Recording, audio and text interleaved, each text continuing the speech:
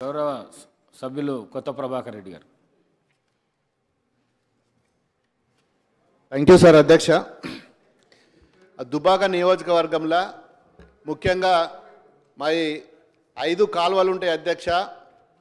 Shankarampet canal Ramayampet canal Sangareddy canal Siddipet canal. మరి ఈ కాలువలు పూర్తిగా మల్లన్న సాగర్ ద్వారా మరి దుబ్బాక నియోజకవర్గం నుంచి పోతాయి.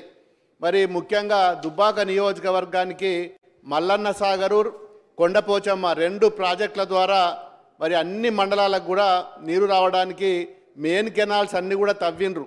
మెయిన్ కెనాల్స్ అన్నీ ఇవి మిగతా జిల్లాలకు మిగతా నియోజకవర్గాలకు పోతాయి తప్ప నియోజకవర్గంలో ఏ ఏ మండలానికి కూడా మన నీరు అందించే విధంగా ఎక్కడ కూడా కాలువలు పూర్తిగా కాలేదు. మరి గతంలో మరి కచ్చ కాలువలు తవ్వినాం. ఏది ముఖ్యంగా ఎక్కడ కూడా సిమెంట్ లేయింగ్ లేకుండా మామూలుగా మట్టి తవ్వి వదిలిపెట్టిన కాల్వల ద్వారా ఈరోజు నీరు నీరు పో- పోయిన రెండు రెండు రెండు సంవత్సరాల నుంచి వాటి ద్వారానే చెర్లు కుంటలు నింపడం జరిగింది. ఈసారి ముఖ్యంగా సమస్య ఏంటంటే ఫారెస్ట్కు సంబంధించిన చిన్న చిన్న స్ట్రెచ్చులు అక్కడక్కడ వెయ్యి గజాలు రెండు వేల గజాలు ఉన్న కాడ గతంలో ఫారెస్ట్ వాళ్ళు రిక్వెస్ట్ చేస్తే ఎక్కడ కూడా ఆబ్జెక్షన్ చేయలేదు కాబట్టి చెర్లు కుంటలు నింపడం జరిగింది. ముఖ్యంగా చేగుంట మండలం ఇది మెదక్ జిల్లాలో వస్తుంది. Chegunta Narsing Shankarampet canal Ramayampet canal Upparpalli canal ద్వారా ఆ రెండు మండలాలకు కూడా నీరు అందితే రెండు మండలాల్లో కూడా ఫారెస్ట్ వాళ్ళతోటి ఇబ్బంది అవుతున్నది. వాళ్ళు ఫారెస్ట్ వాళ్ళు మరి కోఆపరేట్ చేయక అక్కడ కాల్వలలో నీళ్ళు పోకుండా ఆపేసి కట్టలేయడం ద్వారా చాలామంది రైతులు మరి నరువు వరి నాట్లు వేసుకున్నారు.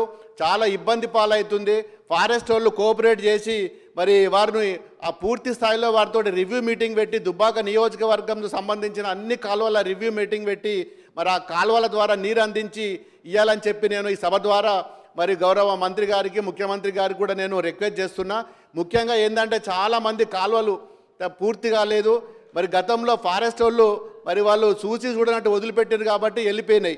ఇప్పుడు అందరు కూడా ఫారెస్ట్ వాళ్ళు ఎక్కడ కూడా కాలువల ద్వారా నీరు లేక చెల్లు నింపలేకపోతున్నాం. ఆ చెర్ల ద్వారా నింపిన నీళ్ళతోటే మరి పొలాలు వారాలే పొలాలు ఎండిపోతున్నాయి. రైతులు చాలా ఇబ్బందుల పాలవుతుండ్రు భయపడుతున్నారు. మరి గతంలో కూడా పో- పో- నాట్లు పోసుకున్నారు. ఈసారి మరి ఫిఫ్టీ పర్సెంట్కి అంతగా అంతకంటే ఎక్కువ నార్లు కూడా పోసుకోలేదు. వాళ్ళు ముందు నుంచే భయపడుకుంటూ వస్తున్నారు. మరి గతంలో కేసీఆర్ గారు ప్రభుత్వం ఉన్నప్పుడు నీరు అందించిండ్రు. మరి ఇప్పుడు కాంగ్రెస్ ప్రభుత్వం వచ్చింది ఇస్తారో ఇయ్యరో కరెంట్ వస్తుందో రాదని భయంతో మరి వాళ్ళు తక్కువనే ఐదు ఎకరాలు ఉంటే రెండు ఎకరాలకు మూడు ఎకరాలకే నీరు గారు. దానికి కూడా నీరు అందించలేకపోతే